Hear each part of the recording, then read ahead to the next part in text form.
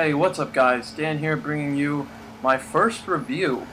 Um, this is a review of Quantum Conundrum, and I'm going to explain to you how this review is going to go down. Uh, I broke what I wanted to, like, what I wanted to cover into five categories.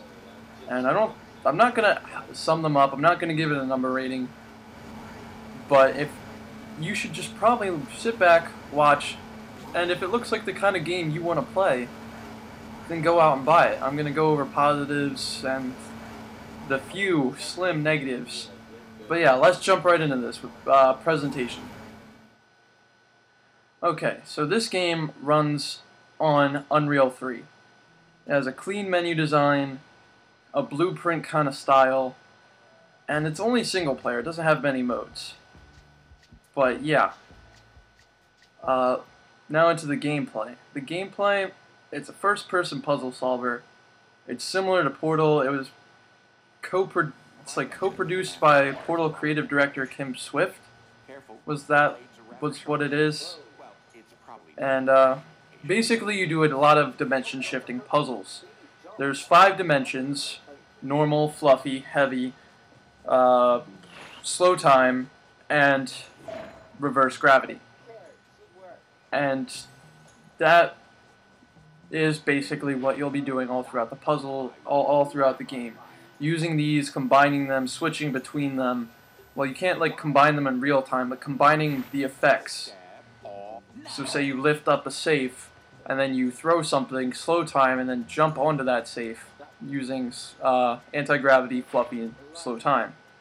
And then you use anti-gravity, get over like to carry what you just threw to get to some to the place that you need to go.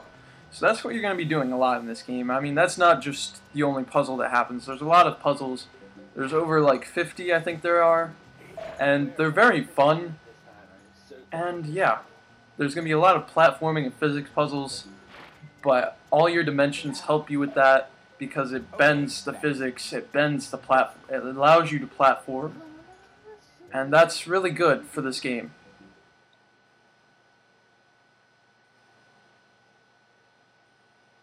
Okay, and into the graphics, like I said, this game runs on Unreal Engine 3. It looks very good, very stylized, and it just has a general, like, good look to the graphics.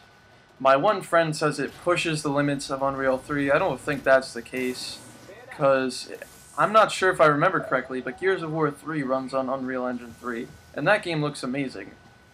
And that game also doesn't have textures that sometimes fade in during play, like uh, Quantum Conundrum. That happens to be a problem with Quantum Conundrum, is that sometimes textures still load while you play, and switching between dimensions can cause them to reload sometimes, but it's not that bad the game is still highly playable and it's like usually on a small number of things. It's not even on the majority of the environment like Gears of War 2 where you could just like walk in a room and all the textures would have to fade in for everything. But yeah, the graphics are very, very nice.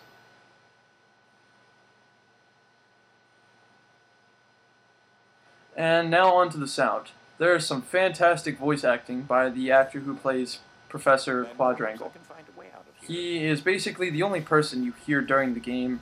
You don't hear yourself, you don't hear, uh, well, you do hear Ike, but Ike isn't actually voiced by anything, uh, according to the endgame credits. And there is a lot of nice music in this game, but it's largely forgettable. It does play a nice backdrop to you solving puzzles. It's not distracting, it's not too loud, it's, it lets you think, which is what you need to do when you play this game, because a lot of the time you'll just keep trying keep trying this one thing and then you'll figure out what it is and you'll just be like that was really stupid of me. How did i not see that before? But the credit song for when you actually beat the game that is fantastic. I really do enjoy that song. It might not be your taste but it is a really nice song that they got for the credits.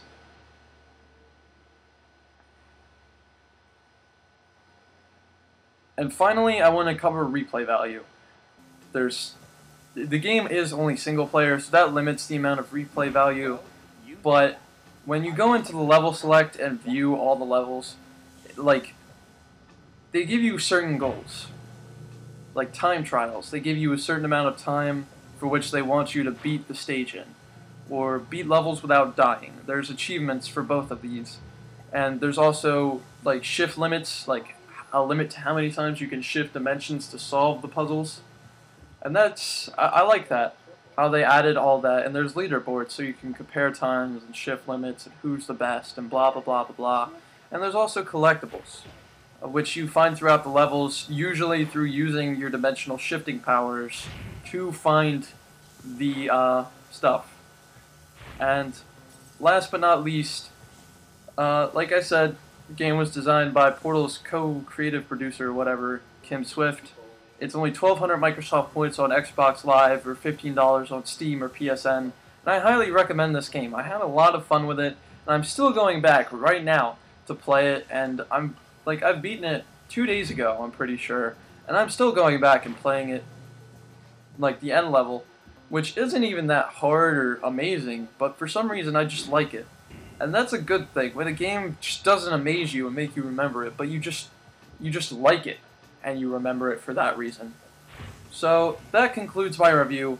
I'll talk to you guys next time.